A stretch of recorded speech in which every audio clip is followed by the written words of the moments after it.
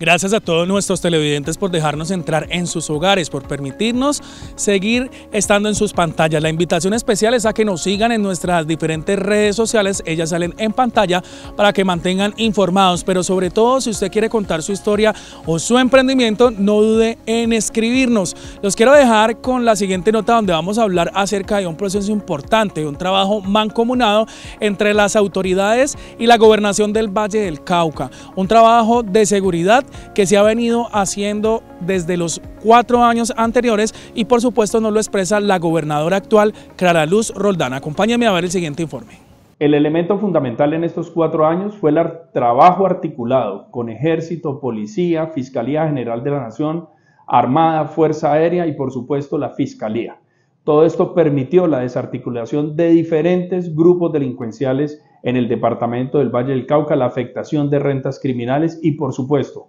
la visibilización del delito a través del cartel de los más buscados. Todo esto permitió la defensa de la vida, honra y bienes de los vallecaucanos y fundamental, la defensa de los derechos humanos como el derecho a la vida, que es fundamental en el territorio.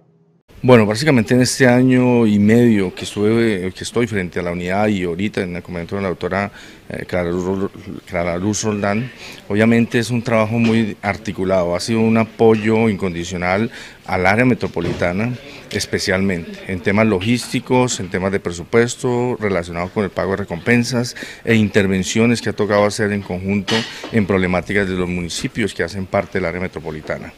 Como policía, obviamente, nosotros nos sentimos muy bien respaldados en temas relacionados en materias de seguridad.